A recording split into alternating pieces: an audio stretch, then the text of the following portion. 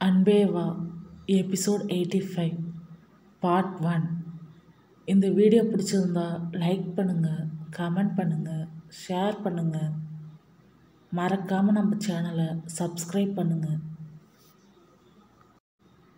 அகிலா அப்பப்போ ஆதிக்கடவுர் அகிலாண்டேஸ்வரின்னு சொல்லிட்டு சுற்றிட்டு இருக்காங்களே தவிர கொஞ்சம் கூட பொறுப்பே இல்லை. பேசாமல் அவங்க எல்லா பொறுப்பையும் மனசா ஆசைப்பட்ட மாதிரி அவங்கக்கிட்டே கொடுத்துடலாம். பின்னென்ன? பிள்ளைங்களுக்கு கல்யாணம் ஆச்சு எப்படி இருக்காங்க? சந்தோஷமாக இருக்காங்களா? எப்போ குடும்பத்துக்கு வாரிசு பெற்று கொடுப்பாங்க? இந்த அக்கறை எல்லாம் எதுவும் இல்லை. மனசா தான் பொறுப்பாக இது எல்லாத்த பற்றியும் கவலைப்பட்டுருக்காங்க அப்போ பொறுப்பு அவங்கக்கிட்ட இருக்கிறது தானே சரி.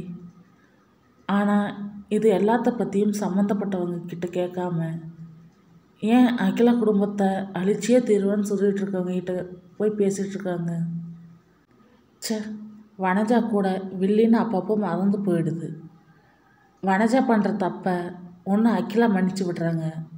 இல்லை பார்வதி ரெக்கமெண்ட் பண்ணி மன்னிப்பு வாங்கி கொடுக்குறா. இப்படி எந்த தப்புக்கும் தண்டனை வாங்காமல் ஜாலியாக சுற்றிட்டு இருந்தா அவங்க வில்லி இன்ஃபார்மர்னு எப்படி ஞாபகம் இருக்கும்?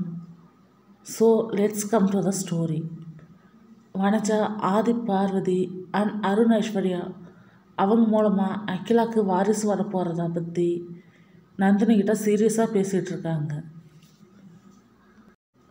நந்தினி டென்ஷனாக வனஜாவை கேள்வி கேட்டுட்டு வனஜா மௌனம் சாதிக்கிறதால அவளோட கேள்வி மித்ராவை நோக்கி திரும்புது. ஆனால் மித்ரா எனக்கு எதுவும் தெரியாது நந்தினி.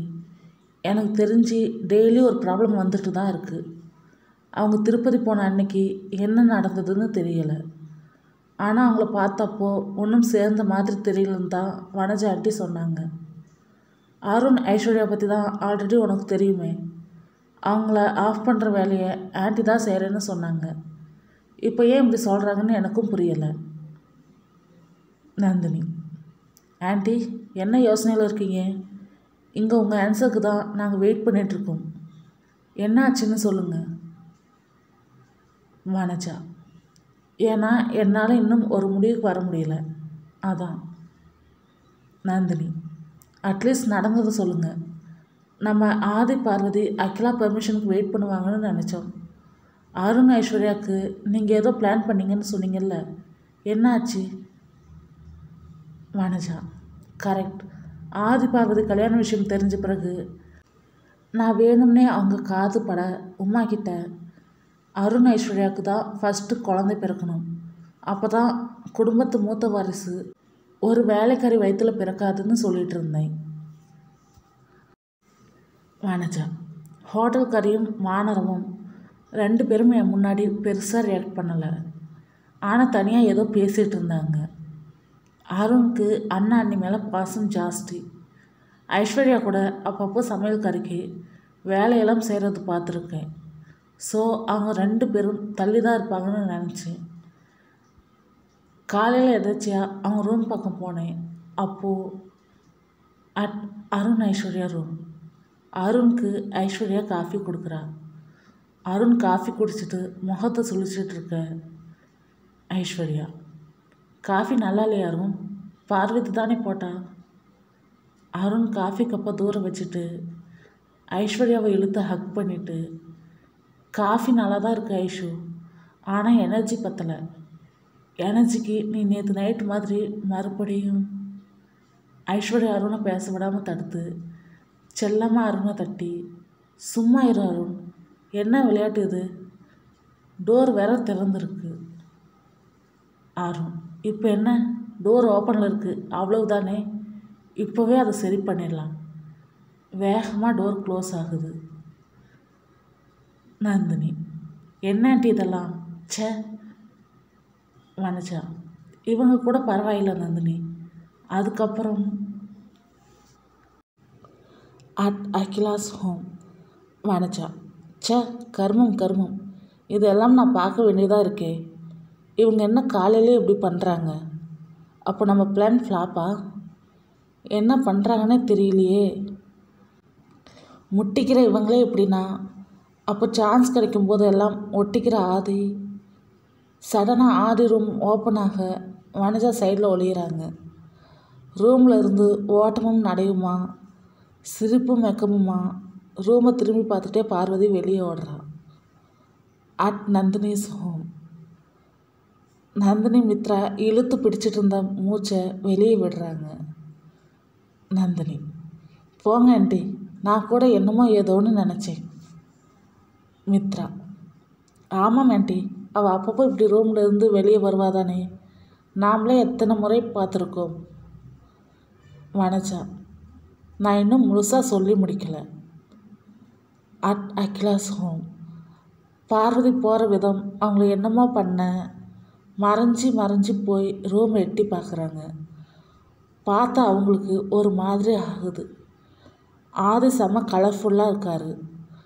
அவர் டேட்டு மேலே கன்னத்தில் லிப்ஸ்டிக் மார்க் அவர் முகத்தில் இருக்கிற ஸ்மைல் வேற கதை. நந்தினி முகத்தை சுழிச்சிக்கிட்டு அது ஏதாவது கிஸ் பண்ணியிருப்பாங்க அதுக்கு போய் இப்படி வணச்சா அது மட்டும் இல்லை நந்தினி. ஆரியோட ஷர்ட் ஒரு பக்கம் விழுந்து கிடந்தது. முந்தின நாள் நைட் ஆரியோட கார்டன்லேருந்து கையில் தூக்கிட்டு போனான்.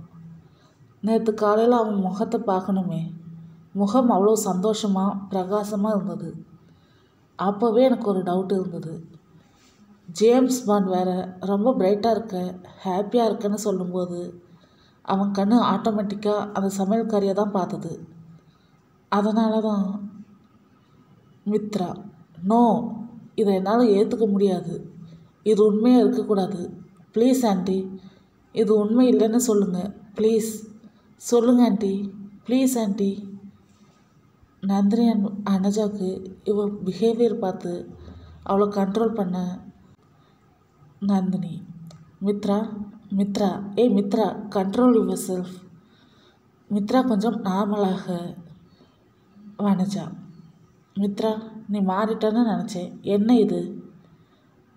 Mithra I am okay aunty கொஞ்சம் ஏமாற்றம். அதான் இப்படி. நந்தினி கோமா இப்படி பண்ணுறது இதுவே லாஸ்ட்டாக இருக்கட்டும் மித்ரா. பிஹேவ் யுவர் செல்ஃப் இன்னொரு முறை இப்படி பண்ண நானே உன்னை கொன்னுடுவேன்.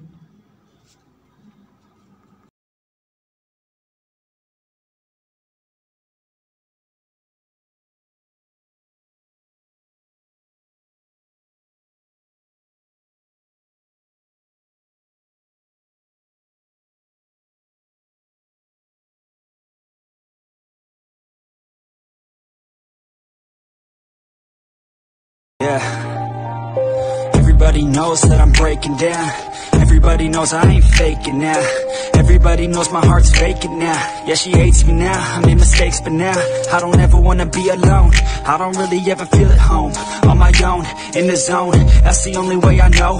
Feeling low, about to blow back up. Here I won't ever let the doubt creep in.